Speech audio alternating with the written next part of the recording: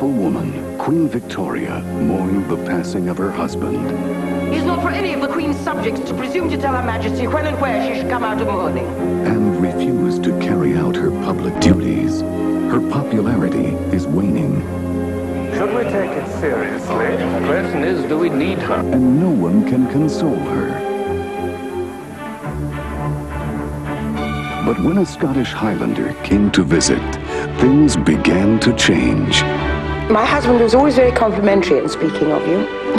Honest to God, I never thought to see you in such a state. You must miss him dreadfully. What is he doing there? If ever a poor soul needed some fresh air, it's her. Lift your foot, woman. Are you sure Her Majesty is up to such a long journey? If I didn't think she was up to it, I wouldn't let her go, would I? Now, this common man and the nation's leader are about to form a most unlikely partnership. Thank you, John. She was drunk, I tell you. No, she wasn't. No doubt you've heard the rumors. Fear the influence he has on her. She must be persuaded by someone she respects to abandon this ridiculous favoritism. Tell her the Prince of Wales wishes to speak with her urgently. Are you deaf as well as stupid? Do you know who you address, sir?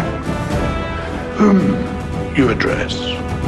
The royal family. They are demanding the dismissal of Mr. Brown. Sometimes I feel Brown is all I have left of Albert. And now they attack Brown too. Miramax Films presents the story of an extraordinary friendship that transformed two lives and changed the destiny of the world's greatest empire. Without you, I cannot find the strength to be who I must be. Judi Dench, Billy Connolly, Antony Sher. In the critically acclaimed film, Mrs. Brown.